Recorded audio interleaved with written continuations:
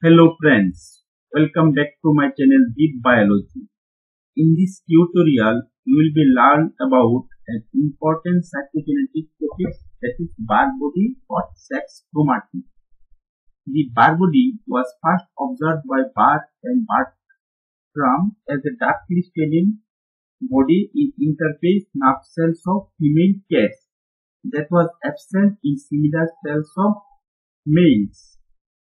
As we know that human chromosome contain 23 pairs or 46 number of chromosomes. Among these, 44 are autosomes and 2 chromosomes are considered as sex chromosomes. The XY denotes the chromosome sets of male and XX denotes the chromosome sets of female. In case of females, there is twice the number of X, while in male, there is X and number of chromosomes. Due to this gene doses imbalance between males and females and inactivation of X chromosome in mammalian female cells occur at the stage of early embryonic development during undifferentiated conditions at the at eight cell stage. It remains condensed during the interphase and is almost completely silent in transcription, whereas the other X chromosome in the cell is decondensed and transcriptionally very active. The inactivation process of one X chromosome in female is called lyonization. In species with XY sex determinations, including human being. What happened? During the early embryonic, embryonic development, when zygote gives to blastomere through the process of cleavage at the HT cells, then its cells 50% cells in both male and female chromosomes are randomly inactivate or their activation is lost. This process is known as lyonization. The number of Barr depends on the number of X chromosome in a cell present. Number of Barr follows an n-1 rule where n is the total number of X chromosome.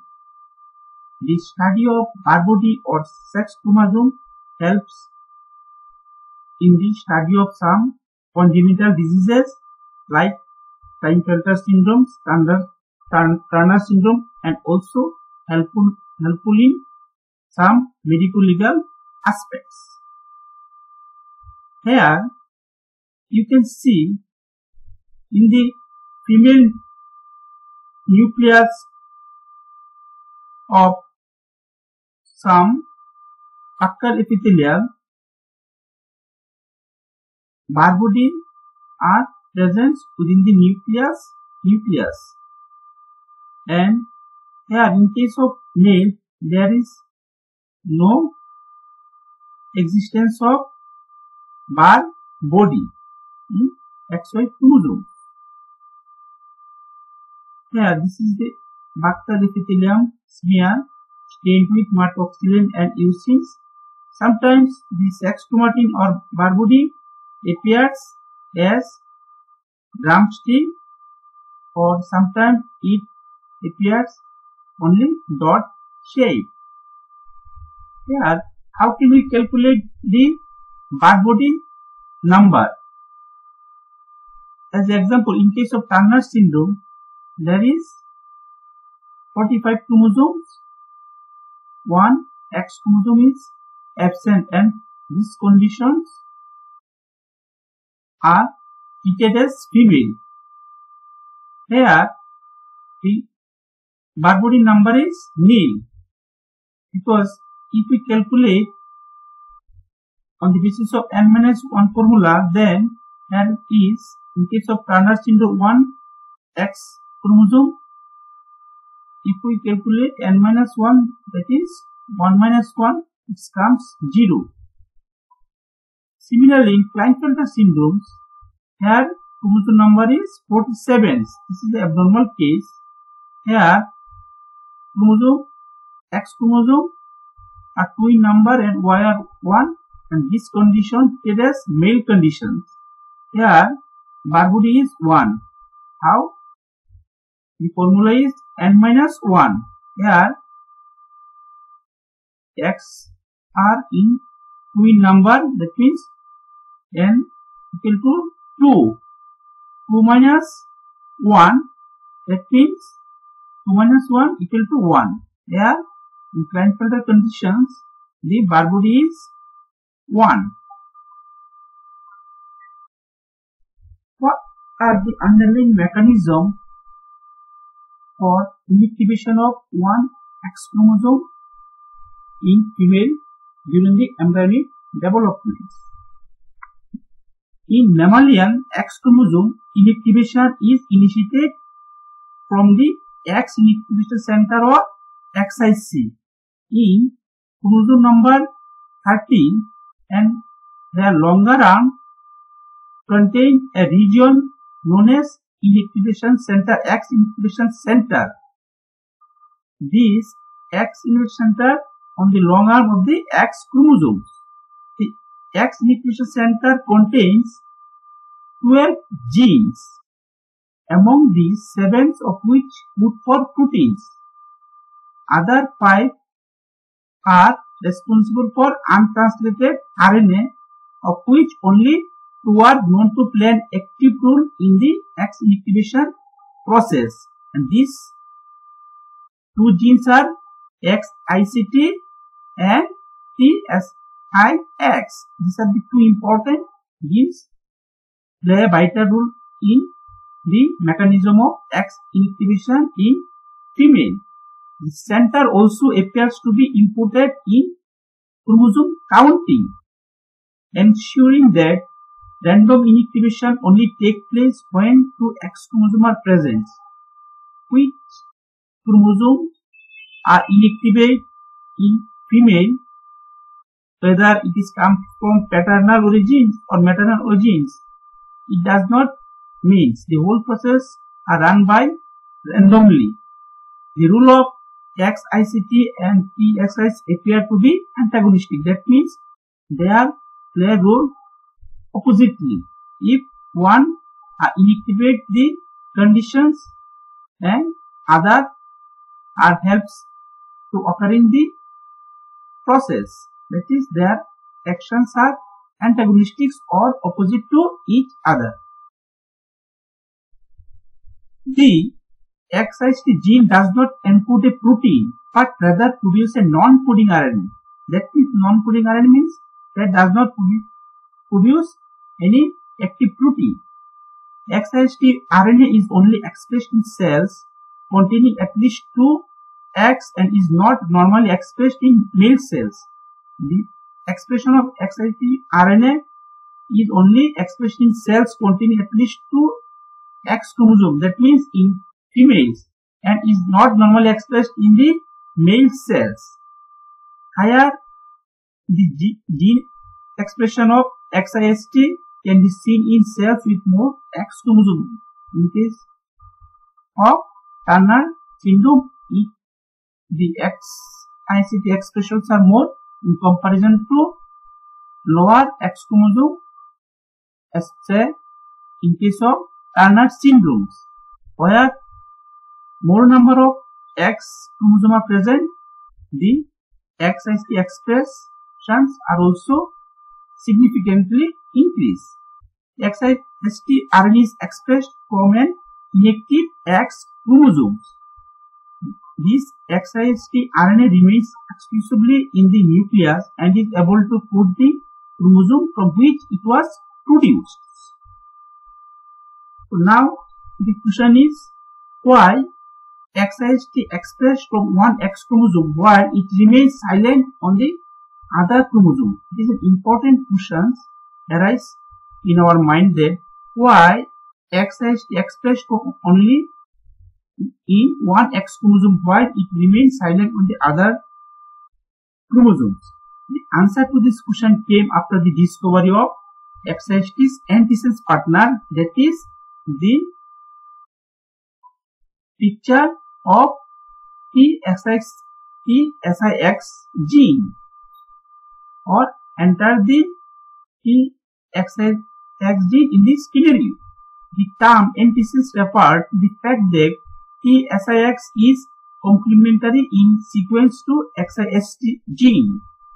TSIX is a non-coding RNA. This is also non-coding RNA like XIST, but it is transcribed in the opposite direction across the entire XIST gene. Like XIST, TSIX only acts on the chromosomes that produce E. Moreover, there is an inverse relationship between these two genes that is TSIX and XIST gene and their expressions. When TSIX transcription is reduced on one X XIST expression increase and leads to inactivation of that same X chromosome. In contrast, overexpression of TSIX prevents increases in XIST expression and blocks inactivation in Cis or on that same X. In this way, XIST express from one X chromosome but it remains silent on other chromosomes and these two gene XIST and gene and TSIX gene are coordinately regulate the whole process of inactivations of one X chromosome in female. One other important hypothesis related to this Barr body of sex chromatin is Lyon hypothesis. This hypothesis was given by renowned scientist Lyon that the hypothesis says that gene dose imbalance between males and females because of the presence of two X chromosome in female as opposed to only one in males is compensated for by random inactivation of one of the X chromosomes in the somatic cells of female. That means when female have double X or twice the number of chromosome and male have only one X chromosome, the one X chromosome of female are became inactive to maintain the balance of gene dose. This random X inactivation occurs in all eutherian placental mammals like human, making female functional mosaics of heterozygous X-linked genes. But in case of marsupials, the only paternal derived X chromosome is always inactivated in the female animals. The interesting feature is that in case of all eutherian placental mammals, the making female functional mosaics of heterozygous X-linked gene. That means in case of all eutherian placental mammals, which X chromosome are inactivate whether it is coming from paternal origin or maternal, it only basis of the randomization. And we cannot say which X chromosome is likely to be inactive. But in case of marsupials, it is definitely we can say that the the, the X chromosome which comes, which came from the paternal genes are definitely became inactive. Here, we can see the zygote of X and X, X, and X that is X which comes from the mother and which comes from the father. Here then the process of mitosis and during the cleavage it is divided to further mathematically it is increased in this way and at the H stage cell. One blastomere 1 2 3 4 5 6 7 8 the maternal origin sometimes it inactivate paternal origin X chromosome and sometimes in it inactivate maternal origin X chromosome. It is occurring in randomly. We cannot say which chromosome became inactive. 50% chance is there. There 50% of the paternal origin X chromosome may get inactive and 50% chance is that maternal origin genes became inactive and ultimately it give rise to a mosaic female where 50% of his X coming from father and 50% of his X coming from mother. So this is all about Barbudy or sex chromati. I hope that with this tutorial you can learn some new inputs. Thank you.